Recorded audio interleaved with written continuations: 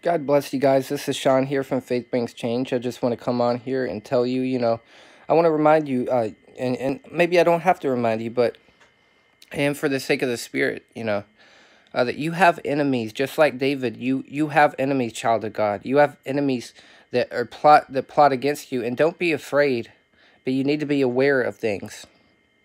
Your enemies are not flesh and blood. They're they're the uh, principalities and powers. They're demons, uh, spiritual wickedness in high places, and to pull them down, guys, you have to uh, you have to get that prayer closet that I'm telling you because David read the Psalms. David was, uh, you know, they were always gossiping about him. They were always plotting against him. So when you're praying the Psalms to God to protect you from your enemies plotting against you, what's happening behind scenes, the angels are setting traps for those demons and that witchcraft that you may not even know about that's plotting evil against you. And so it's important that you, you pray those Psalms, that you, that you memorize them. Uh, there's some more stuff I want to go over to you with, with you, but I, but I wanted to uh, touch on that first. That uh, make sure that you have a good uh, that you have a prayer closet because none of us are any match for the devil or demons or sin, guys. That that lust that you feel in your body, it'll only be gotten out of you. You can be forgiven of it. You can be forgiven of it, and, and your name can be written back in the book of life. But even though you're not acting in it, on it, you can have it still in your uh that feeling in your flesh. Uh, they talked about uh, in hell testimonies that they would inject people. The the devil would enter into that child of God or that person, that temple. He would inject them with a vaccine of resistance, so they uh so they wouldn't be able to. They would have a hard time uh, getting out of that sin. They would always go back to it.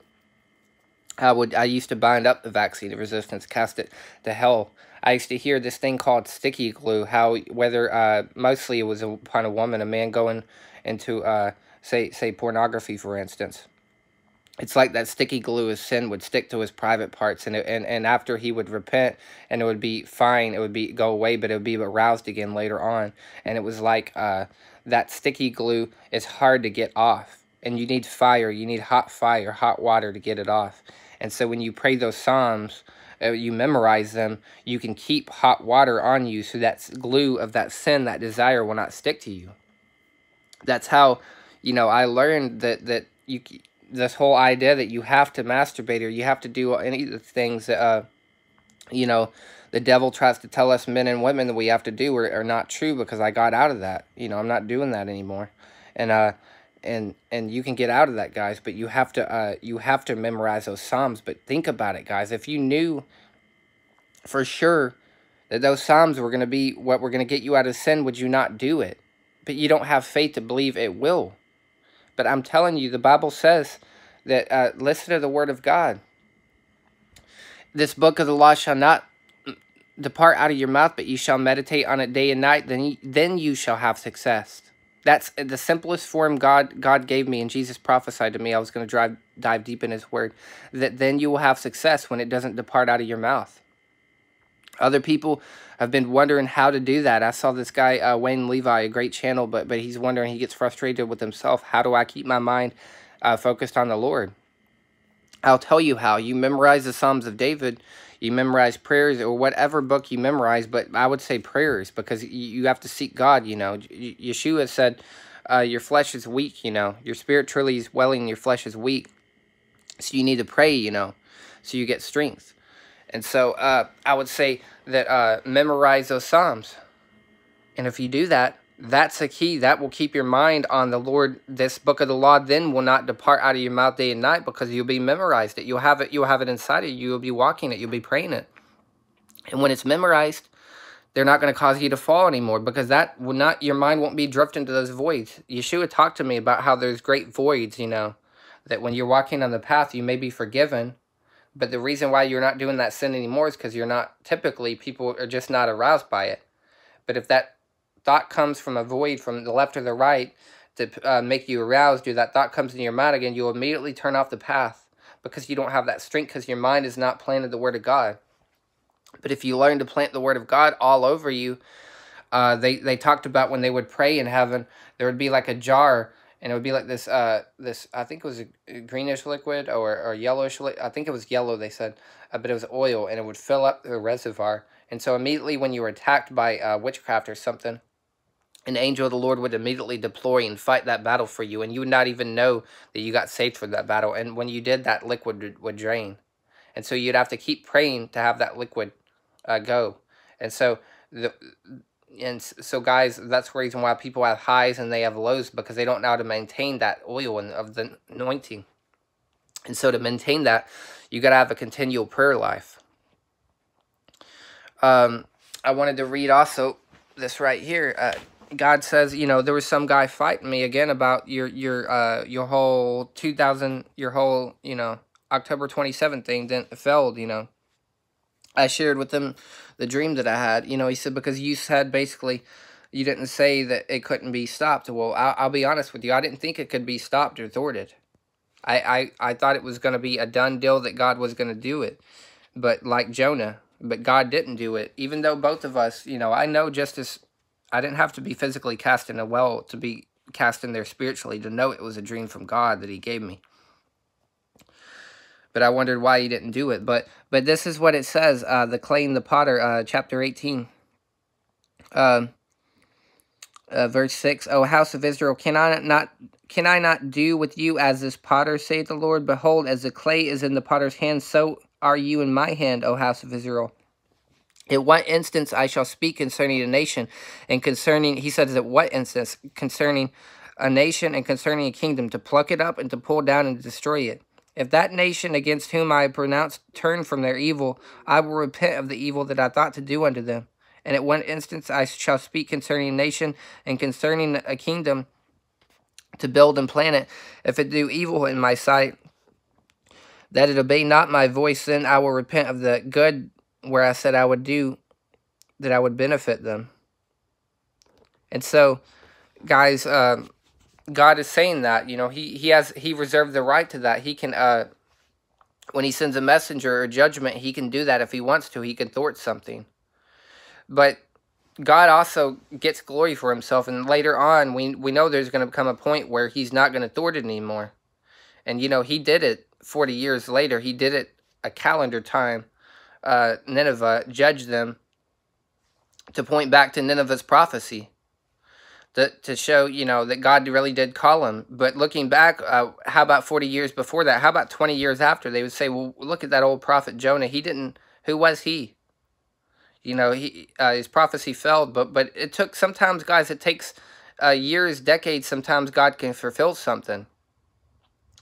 Uh, sometimes it doesn't always happen like we think what's going to happen. You know, Abraham was told he was going to be, uh, you know, basically a great nation, and that didn't really happen until he died, and after, you know, and Isaac came along, and it still took long.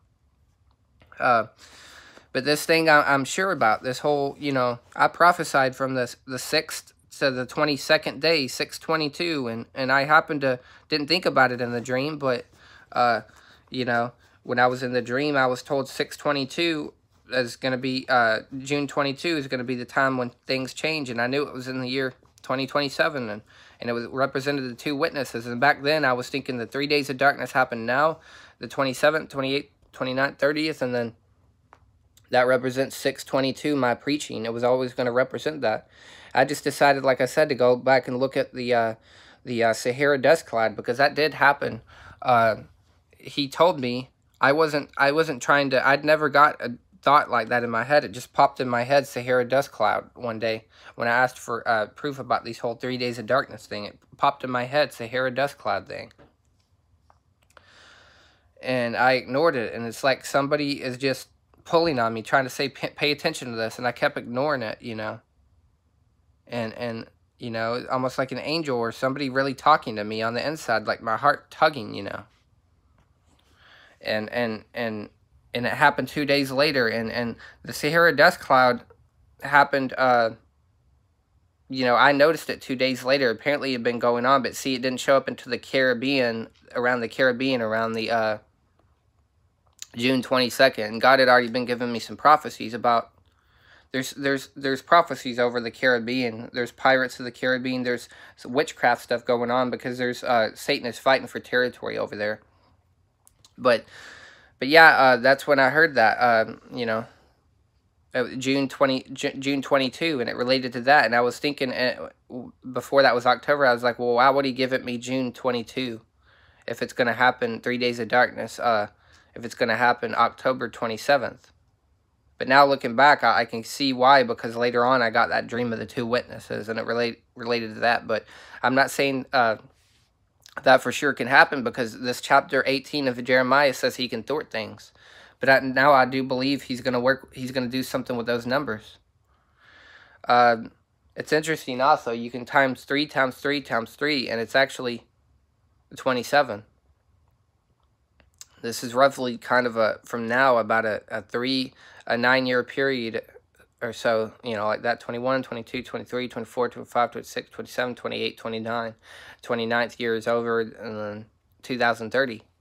I know that the Satanists, they have a 2030 agenda that says they want to destroy, they want to uh, set up their world government by then.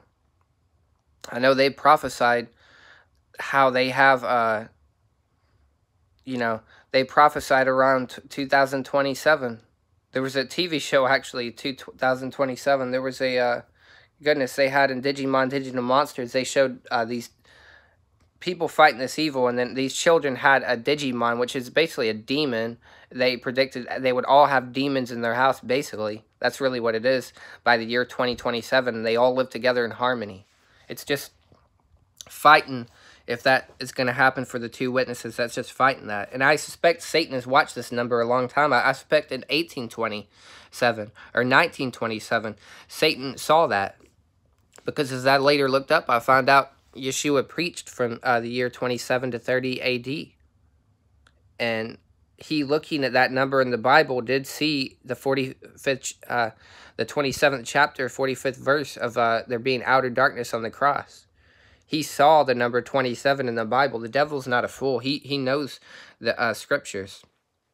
He'd even talked about in the Bible, you can read places where it said, and there were 20 and 7,000, and it's related to the Bible when it talks about Elijah and there were 21 and 7 20 and 7,000 that fell that day and there were 27 that this and that and 20 and you can find that number all over there's actually 27 books in the New Testament I didn't know this it uh, Babylon the Great is fallen or is fallen is fallen something like that. I believe it's a Babylon the Great is fallen. It adds up to 227 it's just all over the Bible. You can't you can't escape that number. God reserved that for something. There's a 22, uh, Psalm 22 about Yeshua saying, My God, my God, why has thou forsaken me? There's uh, that seven that has to do with the uh, seven spirits of God, and it's kind of co-mingled, it's mingled together about having to sacrifice yourself for the benefit of others, and there being the seven spirits of God that proclaiming that and everything. But uh,